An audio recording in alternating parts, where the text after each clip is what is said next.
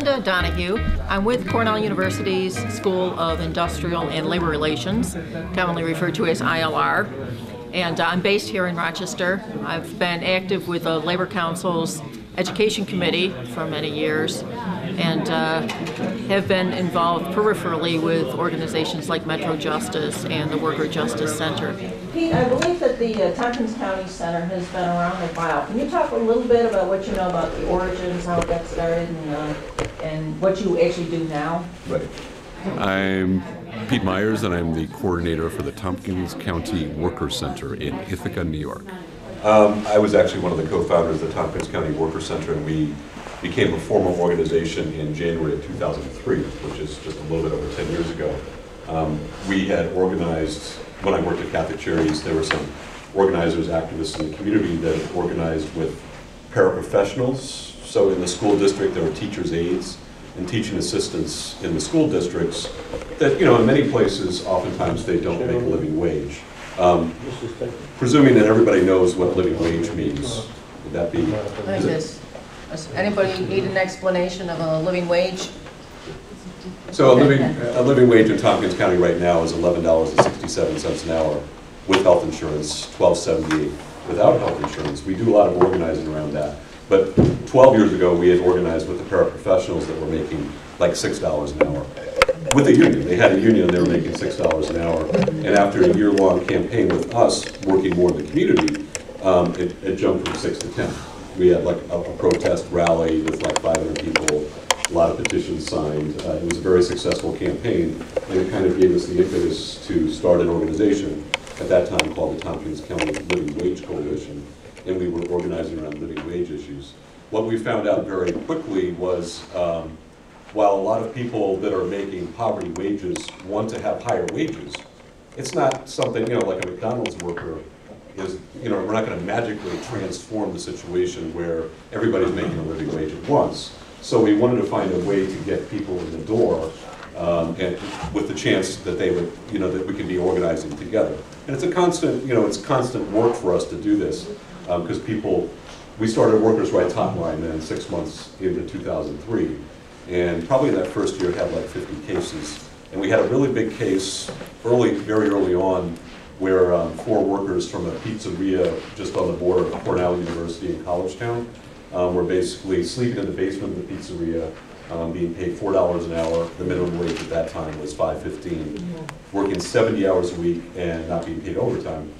So um, at that point, mindful of what Reyna just said about the legal system, which I would very much agree with. We actually went to the Attorney General at that point, who was some guy you've probably heard of named Eliot Spitzer, who was looking to create an upstate presence. And, and you know, basically a lot of times in New York, kind of the, the way some people upstate, including myself, it seems like everything's directed towards the city in some ways. So Spitzer's, all of his activity as Attorney General was more, more downstate. So he wanted to kind of get some notoriety upstate, so he took this case on and got a nice settlement for the workers. And we started at that point, then we started the Immigrant Rights Center.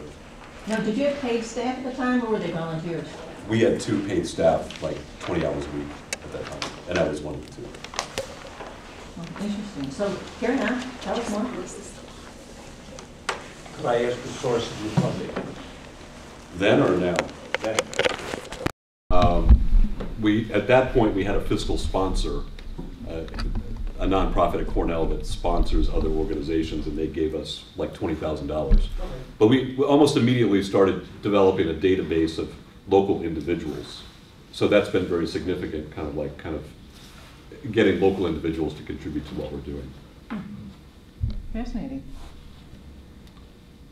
I'm not sure what train of thought, what, where are we? Where we left off before I. Well, you had, um, you would get, you settled the case with the uh, Right. students at the pizza shop, and that was what year? 2004. Okay.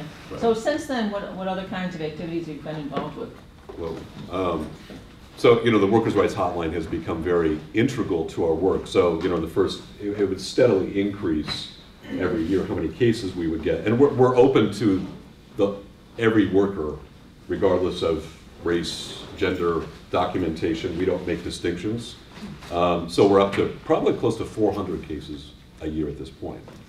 Um, So it's, you know, I, I would say it's a really excellent model in some ways because I think it allows us, you know, we see where the community is rather than deciding. We do campaigns, separate campaigns, but the, the real advantage of doing a workers' rights hotline is that you're actually seeing what's out there in the community and what people care about, like what people are experiencing in the community.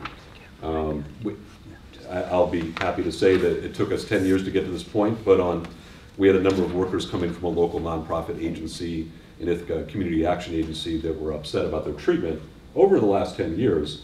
And, you know, we always tell people, you know, a lot of times bullying is not going to change in the workplace, unfair terminations are not going to change in the workplace. The list of things that can go wrong is not going to change unless you start a union. So these workers at this local community action agency took us up on that, and we've been a part of it to some extent and actually voted for the union on January 3rd. So that was quite a 10-year anniversary celebration.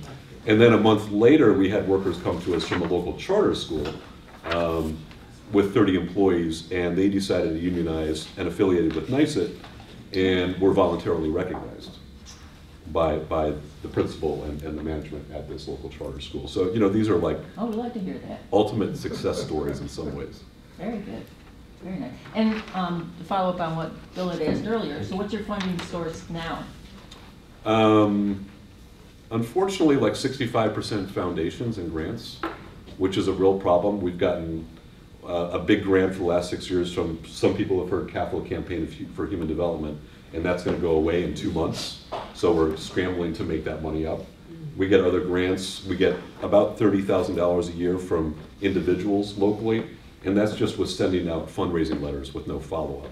This year, we're actually going to be doing um, we're cultivating major prospects, if if you will, and we're gonna be sitting down with people and, in essence, deepening our relationship with them and asking them for more money.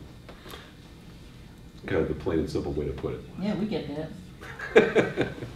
Well, we're gonna come back to talk about um, how you publicize your programs and that kind of a thing. But Caroline, if you don't mind uh, giving us a little bit of a rundown on how your center got started um, and what kinds of things have s- served to kind of keep it motivated and going. I'm Caroline Kimtihanyi, and I'm representing the Workers Center of Central New York. I'm the coordinator. Um, yeah, it's, um, I think it was started in 2008, and um, we also received funding from grants, from um, the, a minor amount from, from contributions, and we're trying to, you know, increase that. Um, and uh, from the Occupational Health and Clinical Center, there's some money through that. Um, and um, you know, so that's, that's like a constant thing, and uh, the um, leadership team, several people are very good at grant writing, so we actually got a couple grants just in the past week that we're excited about, so. um, But one of the, um, one of the things that happened before I, I was at the center uh, with uh, Rebecca Fuentes, when she was the coordinator, uh, was at the state fair, which maybe some of you have heard about. And these were actually workers uh, from Mexico who had a visa, and um, they were working at a food stand. Um, I believe that the owner is from Brooklyn, um, and every year he has a, a stand for Greek food at the fair. And he had uh, these workers living in just horrendous conditions. Uh, and they were just like all eaten up with bed bug bites and, you know, underfed and um, basically not being paid, being paid like he'd just shell out a few dollars every now and then. Um, and, you know, I'm sure, like, as, as you've seen, like, a lot of times, the, um, these employers will, like, hold the person's paperwork, their passport, and so that that person really feels, um, you know, enslaved, um, that they can't go, you know, they can't move on anywhere else. And um, I think that there's, uh, a lot of times people think if somebody has a visa, they're not going to be um, prone to that kind of exploitation, but this was a perfect example of that. So um, Rebecca Fuentes and Pat Rector, um, another activist, um, brought this to, to the attention of the, uh, I think it was the Federal Department of Labor. And ultimately, the workers did recover thousands and thousands of dollars in wages. And, uh, and you know, the community made a pretty big stink about it. So um, this particular vendor was denied the next year when he again applied to, to have a stand at the state fair. Um, so that was uh, one of the cases with, with more publicity. But um, definitely since I started in October, uh, I've seen that there's just countless uh, wage theft cases, um, often in construction, uh, janitorial work, and definitely farm work. I mean, we have dairies, like in Syracuse, we have dairies in every direction. So, um, and I think it's just the tip of the iceberg. Like, I just have this feeling that a lot of um, workers have not heard of any of these worker centers. And, um, you know, until they do, we're, we're not going to even know how many cases there are. But, um, you know, on the, on the few dairies, really, out of all of them that, that we've been able to, to visit and make contact with workers, um, there's just like rampant um, abuses, uh, wage theft, the living conditions are, are like, some, in some cases, unrecognizable that this is housing. Um, and, uh, you know, that's, the employers will say, um, you know, in some cases, if somebody moves, they'll say, well, they didn't give me notice, so I'm not gonna pay them. Um, you know, they'll, they, they'll say, oh, I found out this person's illegal.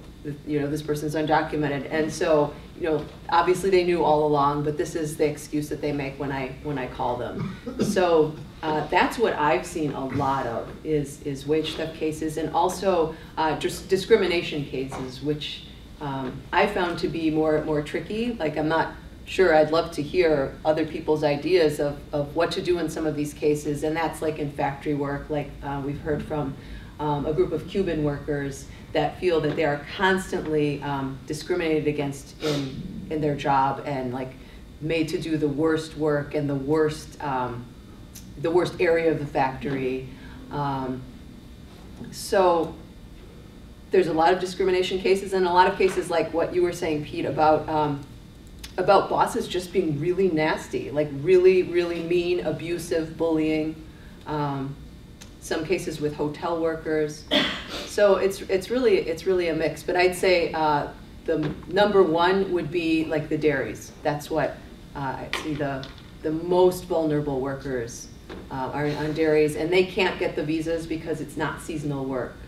So um, and they're very isolated. Like some of the dairies, I've you know just driven through the country, but I would never have seen that housing. Like I Right. I just drive by, you know.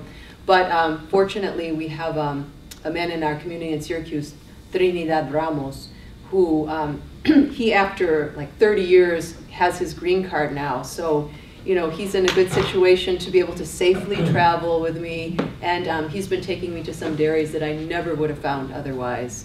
Uh, and he knows them because a few years ago he was um, selling tamales with his wife and, and, you know, seeking out these different farms. And so he has a, has formed bonds of trust with some of the workers. So, I mean, that's another thing is that they're understandably um, very wary, um, very fearful if just, you know, a random person stops by. So it's uh, important to have somebody who knows somebody um, in order to establish trust with them.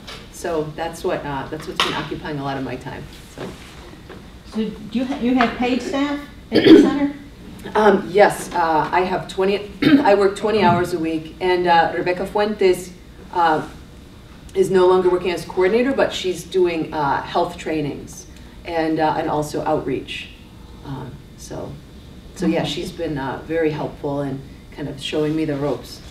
So, It's gotta be frustrating to have a 20-hour-a-week job when you know there's 60 hours a week worth of work to do, so. well, I end up working more than 20 Yeah, hours a sure week. you do.